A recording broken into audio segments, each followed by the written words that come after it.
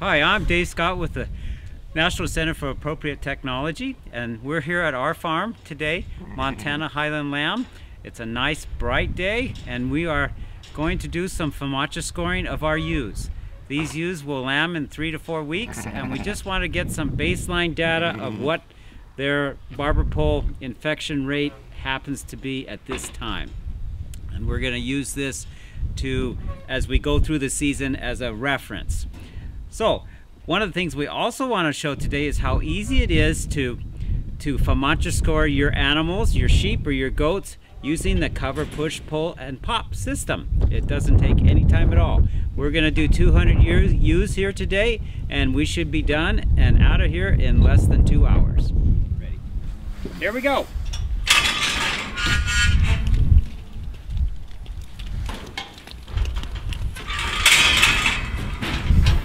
Okay, we have this ewe lamb's head.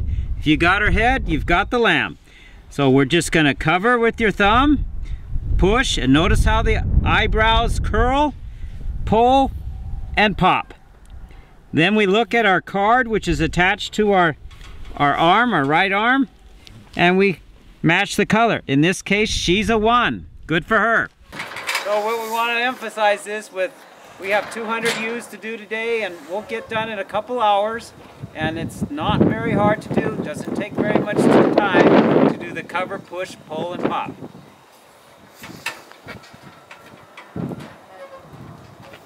One. One.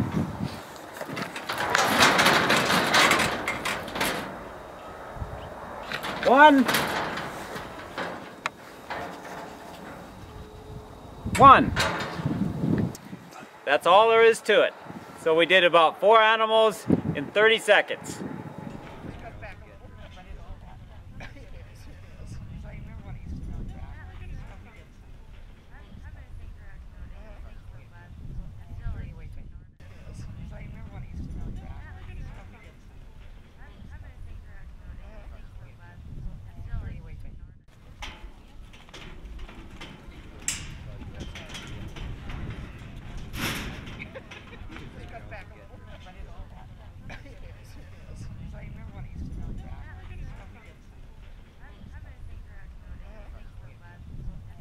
And this, we, we would put them in a short, tight area like this, okay?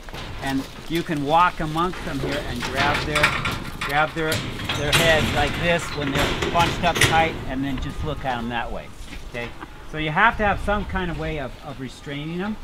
Um, so that's, you know, tight area or a, a race like this will work for you.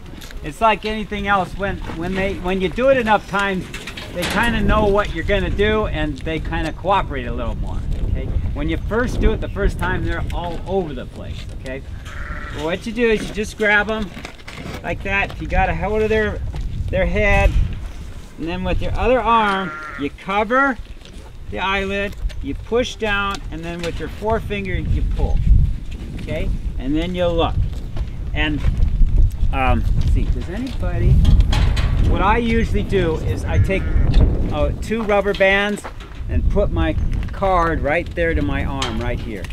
So I can look at it and then compare what their eyelid is, okay? Um, we should have supplied some rubber bands, but we don't. But anyway, you can, you, the alternative is to get your card in your left arm, left hand, and compare it right there.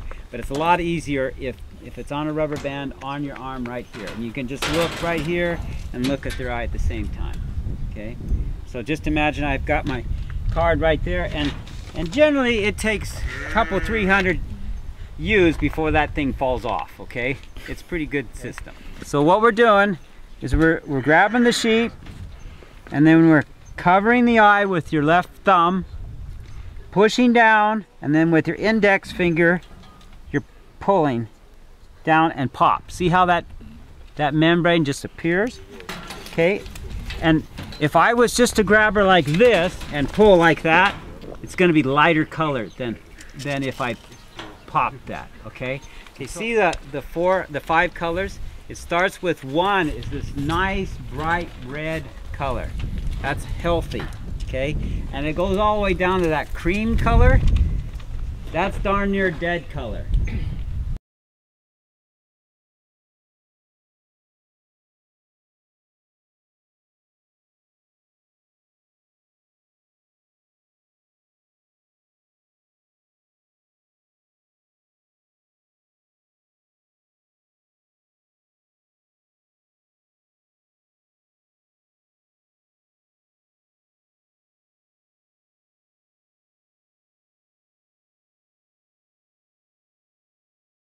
Okay, so if you have your your thing, just imagine these these um, rubber bands right here.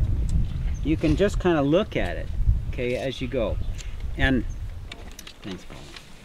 Um, so again, you grab her, and oh, I was gonna say too about that. If you just pull her eyelid down, it's a lighter color. And so, say if it was a, a actually it was a three okay right middle row kind of this one right here. That's what it actually is but if you just pull the eyelid down it's gonna look like possibly a four and we're treating all fours and fives maybe threes. If she's skinny if she's loose in the manure department or if she's got some other signs where she doesn't look thrifty if she's a three, we'll probably treat her. But all fours and all fives get treated. Okay? So if you just pull down the eyelid, and she'll look like a four, but she's really a three. And so she doesn't need to get treated. Okay? So you're wasting your, your wormer and you're lessening the refugia. that's the big thing. You're lessening the amount of sheep that are, are in your refugia by, by doing that. So I know it's kind of a pain to have to to grab them and push, pull and pop. It's a lot easier just to go, just to pull, okay? But it doesn't give you the same results. results. And when I first started doing it, I've only done this for two years. And the person emphasized, my trainer emphasized always cover, push, pull, pop, okay? And I thought, wow, that's gonna take me five more seconds if I just pull, okay? But it's it's important because you're gonna get a bad reading uh, if you don't do all four steps, okay? So. That kind of, way I know I'm getting on in there, it's more like a two okay. when you do that. All right, good. As you can see, if you're just kind of looking at that part closest to the eye, that's always going to be white. Mm -hmm. But you get up underneath there, so it's not but you do it one more, I'll hold it for you. Like that. Okay. Forward or down. Okay. Then it's easy. It'll pop a little easier. Really? Yeah. Almost. Are you sure? There it is. Okay, so I, I raised this top one a little bit. Sometimes they won't do it the way you're, you're supposed to. okay. So what do you think she might be? Is that what I need yep, to see? uh-huh, that's right. So, three? Yep, perfect. Okay. Yep. Thank you.